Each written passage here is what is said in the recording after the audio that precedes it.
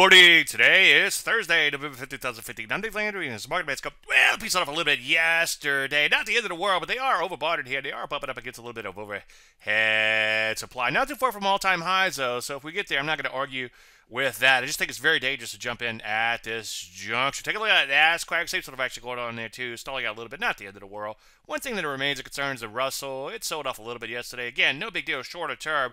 But as you can see at the back chart, way out. It looks like it's in trouble longer term. A lot of areas like drugs and health services, longer term, don't look so great. So far, it just retraced up a little bit in here. I think they're still in trouble. Take a look at the energies. As I've been saying, I think a bottom remains in place here, but they sold off fairly hard yesterday. So again, it looks like it's be more of a process than an event. To a lesser extent, also metals and mining. I have a ton of stuff to cover later today, including everything I just said in the chart show. So I hope to see you there. I'm going to focus today mostly on trading psychology.